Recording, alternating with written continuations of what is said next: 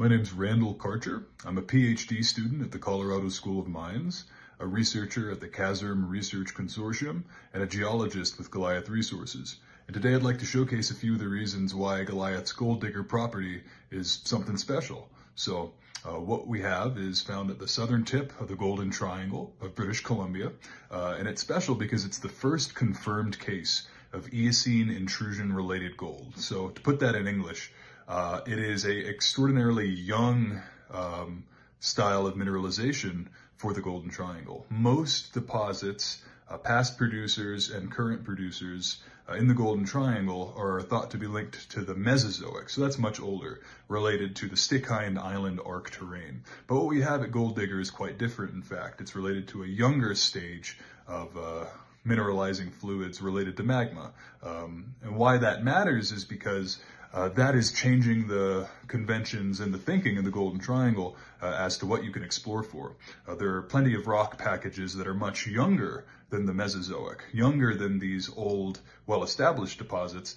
that have been systematically ignored. Those structures include um, members of the Coast-Plutonic complex, uh, as well as structures of the Skeena Fold and Thrust Belt, uh, which are both younger than uh, the period of mineralization uh, thought to bring in most of the gold in the region. So uh, we're breaking convention by uh, demonstrating this is a much younger, different style of system, uh, and that also gave us a first mover advantage when staking a lot of these Eocene rocks.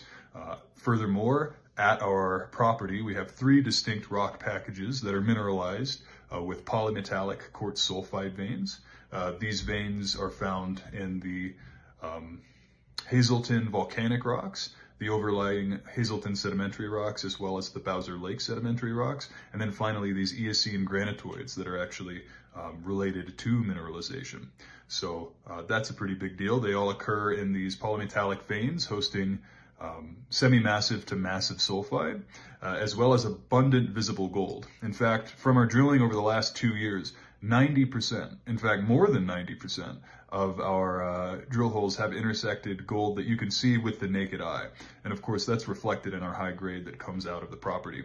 Uh, our highest grade that we found so far was in the volcanics uh, in hole 260, uh, which graded over an ounce per ton gold equivalent over 39 meters. So a really monstrous intercept. In fact, ranked by the Northern Miner as the 15th best drill intercept released on Earth of 2025. So um, with a mixture of our distinct rock packages, unique style of mineralization, and abundant visible gold, uncommon uh, at most gold prospects, uh, we really do have something special at Gold Digger